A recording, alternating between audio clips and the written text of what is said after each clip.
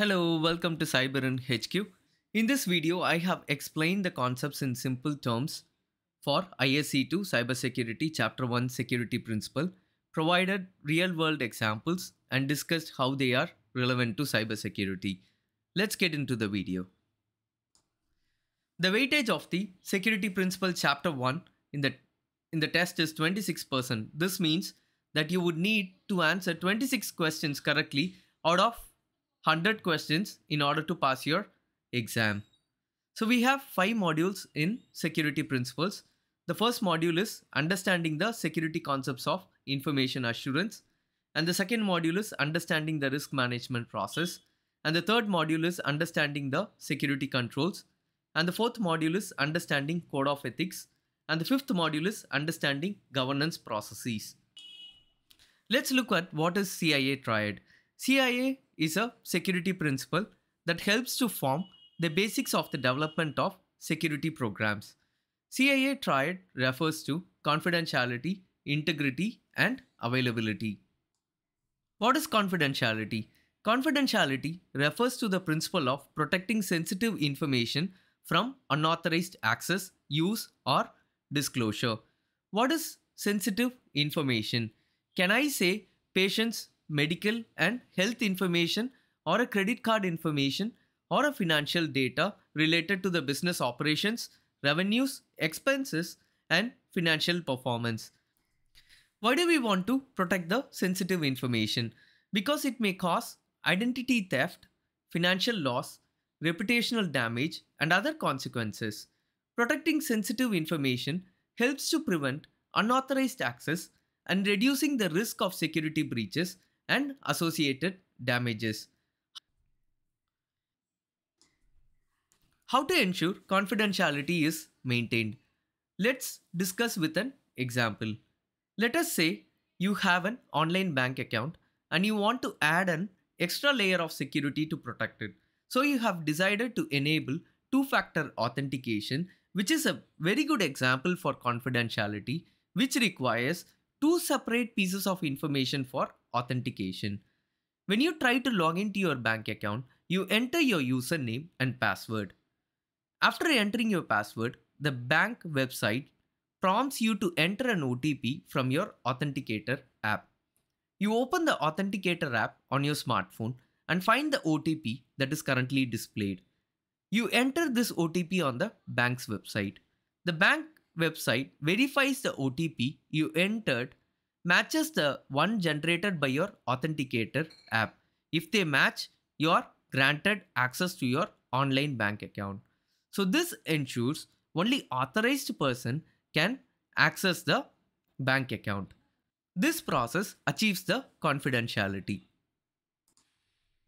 The next one is the integrity. Integrity refers to the accuracy, completeness, and reliability of the data.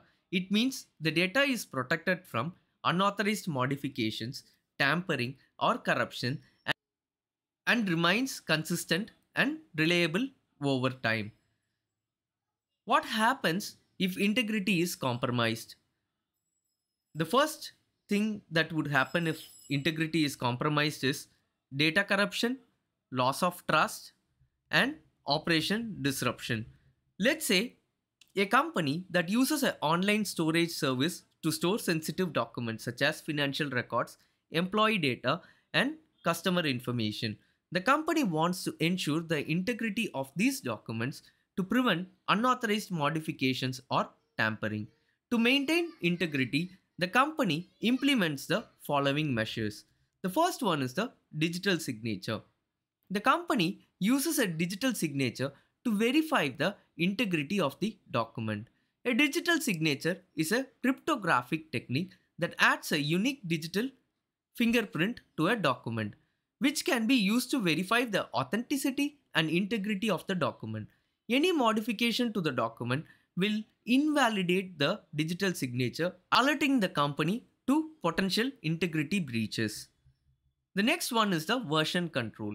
The company uses a version control software to keep track of changes to the documents. Each time a document is modified, a new version is created and the previous version are stored for references. This allows the company to easily identify and revert to previous version of the document if unauthorized modifications are detected. The next one is the access control. The company limits access to the documents to only authorized personnel who need to work with them. Each employee has their own unique login credentials and their access privileges are limited to their job responsibilities. This prevents unauthorized individuals from making unauthorized modification to the document. The next one is the encryption. The company can use encryption to protect the document while they are stored in the cloud storage services and during transmission over the internet. Encryption ensures that only authorized parties with the appropriate decryption key can access and modify the document, maintaining their integrity. And regular monitoring the documents for any suspicious activities such as unauthorized access or modification. This includes reviewing the logs and audit trials as well as implementing automated tools and technologies for detecting integrity breaches. By implementing these measures, the company ensures the integrity of its sensitive business documents, preventing unauthorized modifications or tampering that could promise the accuracy, reliability, and consistency of the information, and protecting the company data assets from integrity failures that may result in financial, legal, or reputational consequences. The next one is the availability. Availability refers to the state of something being accessible, ready, and usable when needed. Imagine you work in a company that handles sensitive customer data such as credit card information and store it in a database. The availability of this data refers to its accessibility to authorized personnel when needed while protecting it from unauthorized access or loss. For example, if a customer service representative needs to access the customer database to assist a customer with a transaction, they should be able to do so promptly and without any technical issues. The database should be available, allowing the authorized personnel to access the data they need to provide efficient customer service. However, if the database experiences a technical failure, such as a hardware malfunction, software glitch, or a cyber attack, it could result in the database being unavailable. This would mean that the customer service representative would not be able to access the data required to assist the customer, leading to delays, frustrated customers, and potential financial loss for the company. To ensure availability in cybersecurity, the company should take measures such as data backups and redundant systems and this ensures the availability. Next one is the authentication. Authentication is the process of verifying the identity of a user, system or a device. It involves providing proof of identity such as a username and a password and a fingerprint scan or a smart card to confirm that the user or device is who it claimed to be. Authentication involves the use of one or more factors to establish the identity of the user or a system. In other words, authentication is like showing your ID card to a bouncer at a nightclub. The, bou- the bouncer wants to make sure that you are 18 years old to enter and that you're not using a fake ID. Similarly, when you authenticate a system or a device, you are proving that you are authorized to access it and that you are not an unauthorized person. Authentication is a essential part of cybersecurity because it helps to prevent unauthorized access to sensitive data or system. By requiring users to authenticate before accessing a system, organization can ensure that only authorized users are allowed to access and the sensitive information is protected. Authentication can also help to track user activity and identify potential security threats. In authentication, we have three principles. One is something the user knows, and the second one is something the user has, and the third one is something the user is. What is something the user knows? It could be a password, it could be a PIN, it could be a security question and answer, a personal identification number, or a pattern on a touch screen. Something that the user has is a smart card, a physical token or a USB key or a mobile device, an access card, something that the user is a fingerprint, a retina scan, a facial recognition, a voice print, or a palm print. Let's say an example, you want to access your online bank account. You're starting by navigating to the bank website and entering your username and password and that is called as single factor authentication. The website verifies your username and password and allows you to access to your account. However, since online banking involves sensitive financial information, the bank also requires you to provide an additional form of authentication to ensure the security of your account. To do this, bank sends a verification code to your mobile phone that is called as multi-factor authentication. You enter the verification code into the website which confirms your identity and allows you to access your account. This process of using both a password which is single factor authentication and a verification code which is a multi-factor authentication is an example of multi-factor authentication. If someone were to obtain your password, they would still need to have access to your mobile phone in order to receive the verification code, which makes it much harder them to gain unauthorized access to your account. This is why MFA is an important security measure, especially for the applications that involve sensitive informations like online banking. In the given example, something the user has, that is mobile phone, which receives the verification code for MFA.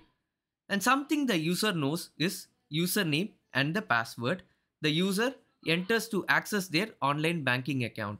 Something the user is can be a biometric identif identifier such as a fingerprint or a facial recognition that could be used in place or in addition to the username and password or combination for authentication. What is non-repudiation? Non-repudiation is the assurance that a message, transaction or an action cannot be denied by the sender or the receiver after it has been completed. It provides evidence that the message or transaction was sent and received by the parties involved and that they cannot later claim they did not participate in the transaction or deny that they sent or received the messages. This is often achieved using digital signature, timestamps, and other cryptographic mechanism that provide evidence of the authenticity, integrity, and origin of the transaction. An example of a non-repudiation is when you send an email with a digital signature to your client the digital signature provides non-repudiation by ensuring that the recipient cannot deny that you sent the email and the content of the email has not been altered since it was signed. When you digitally sign an email, you use a cryptographic algorithm to create a unique digital fingerprint of the email that only you can produce. The fingerprint is attached to the email as a digital signature which can verify the recipient using your public key. If the signature is valid, the recipient can be assured that the email was sent by you and the, and the, and the, and the contents of the email have not been al altered in transit. If there is a dispute later on about the content or origin of the email, the digital signature can provide evidence that the email was indeed sent by you and the content has not been tampered with.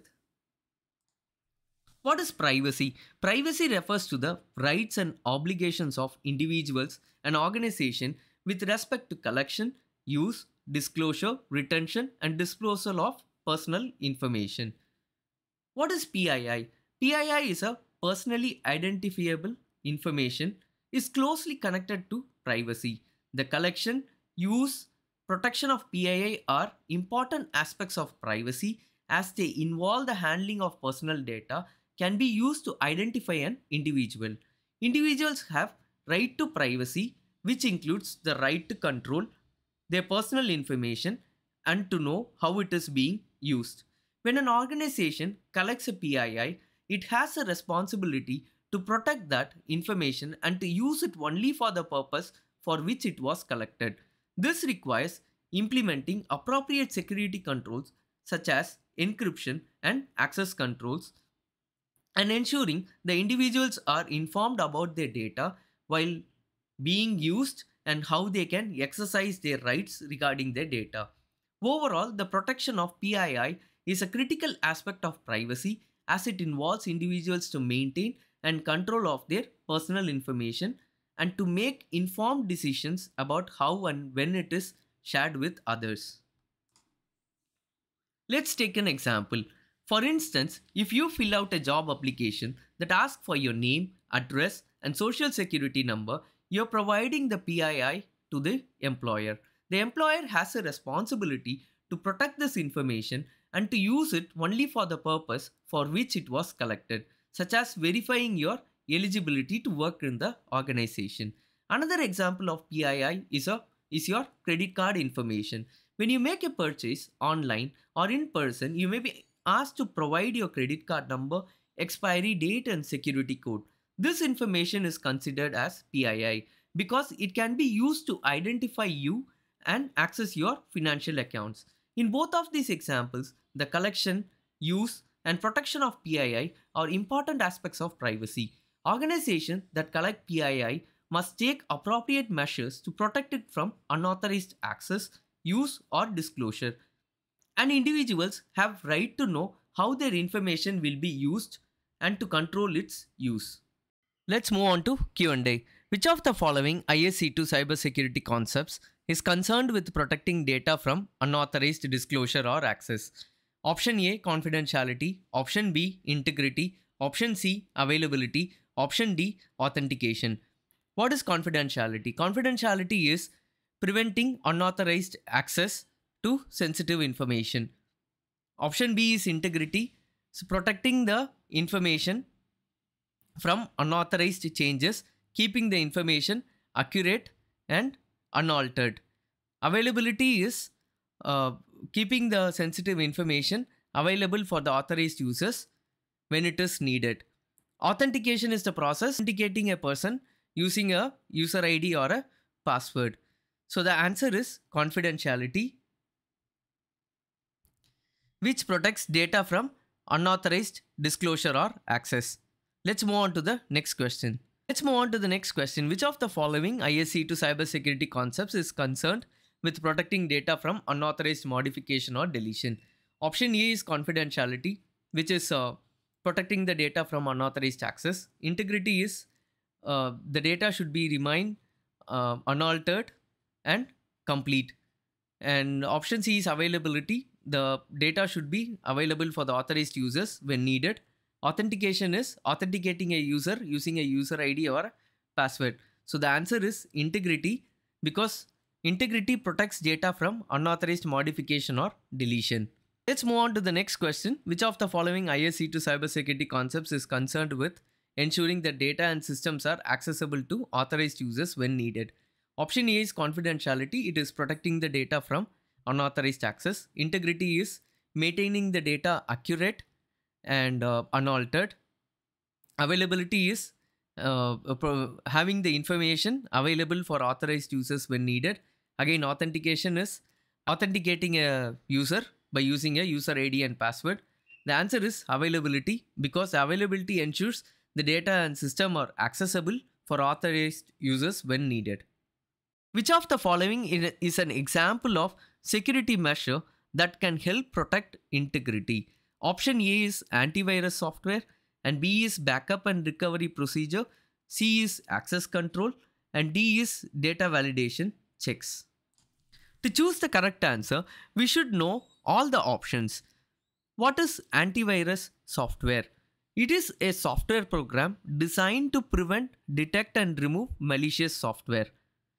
What is backup and recovery procedure? It refers to the process and technique used to protect and recover data and systems in the event of data loss, corruption, or system failures. What is access control? Access control systems use authentication and authorization process to grant or deny access to sources, resources, or information. Data validation checks are a security measure that can help protect the integrity of the data.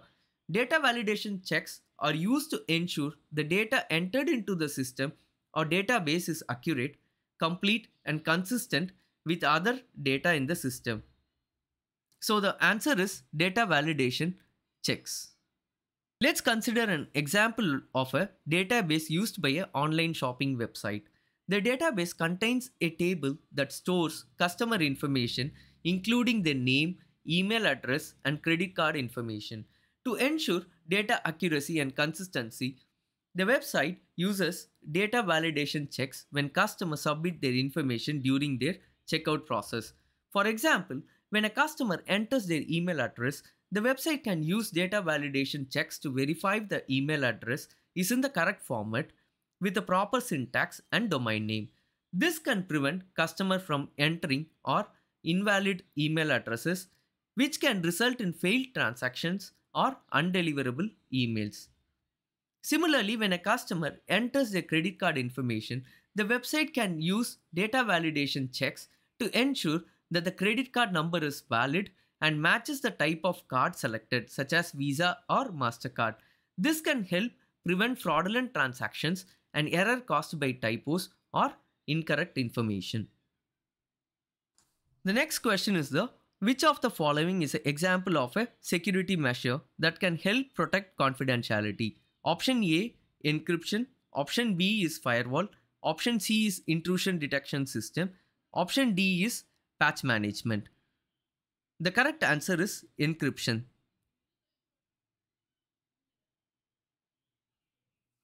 Because encryption involves transforming data into a form that can only be read or accessed by authorized users who have decryption.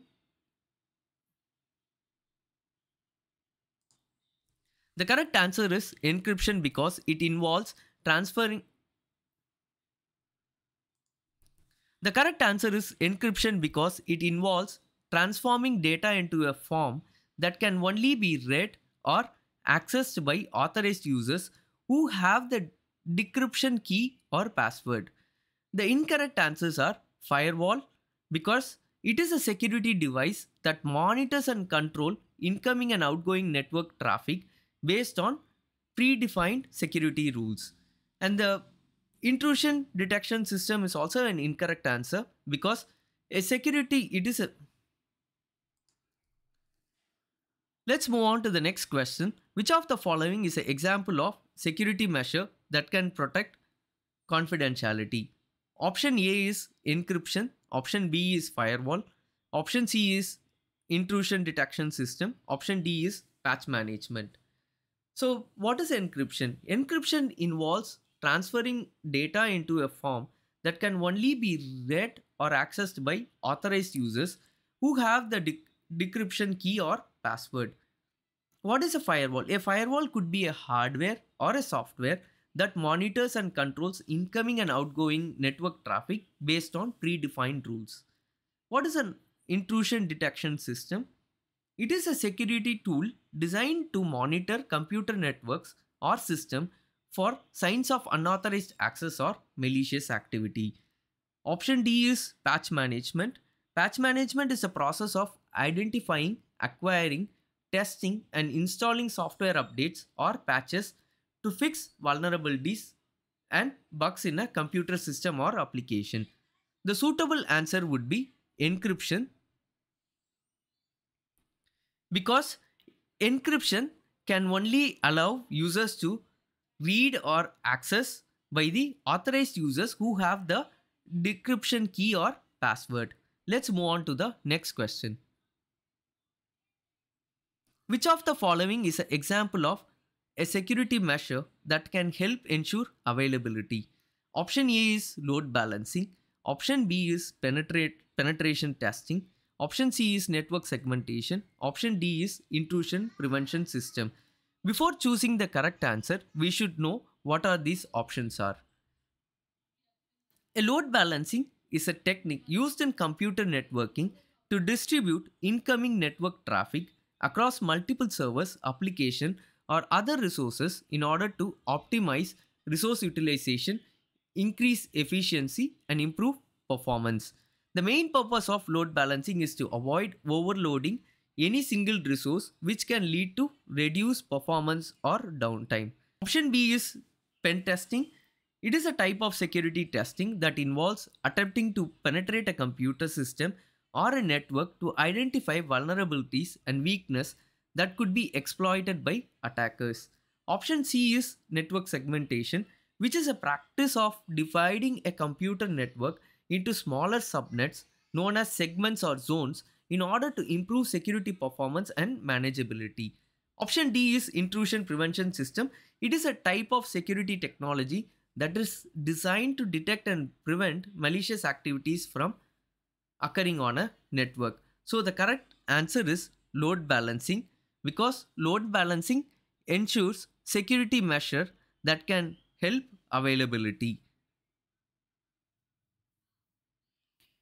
The main purpose of load balancing is to avoid overloading any single resource which can lead to reduced performance or a downtime.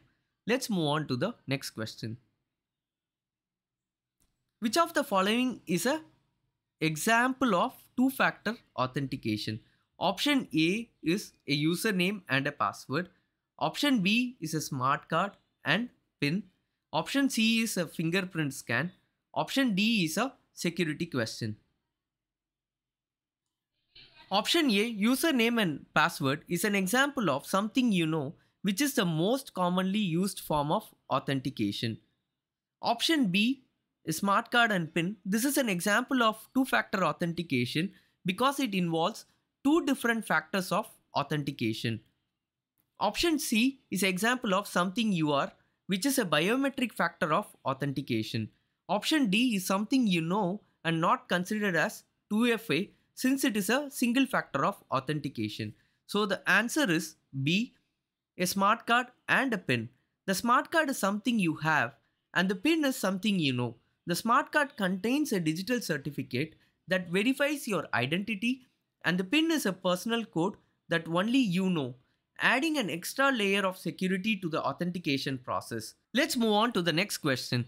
Which of the following is an example of something the user knows in the authentication factor? Options are A. Fingerprint scan B. One-time password sent to user's mobile phone C. Smart card with a private key D. Username and password combination. I would say the answer is D. Username and password combination because it refers to something that the user knows knowledge based authentication factor that requires the user to provide information that only they should know, such as password, PIN, or answer to a security question. A username and password combination is a common example of something the user knows. Authentication factor. Let's say an example, fingerprint scan A is an example of something the user is in the authentication factor while one-time password and smart card is an example of something the user has in the authentication factor. So the correct answer is username and password combination. Let's move on to the next question. Which of the following is a benefit of non-repudiation? Let's say what is increased data availability? Increased data availability refers to the ability of users to access and use data when they need it without experiencing any delays or interruption. And what is improved system performance? Improved system performance refers to the enhancement of speed, efficiency, and overall effectiveness of a computer system or a application. What is a greater data security? Greater data security refers to the measures taken to protect data from unauthorized access, use, disclosure, disruption, modification, or destruction. Option D is easier system administration.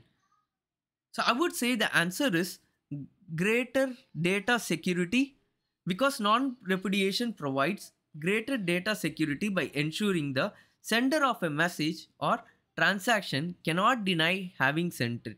This helps to protect against fraud, disputes and other security risks.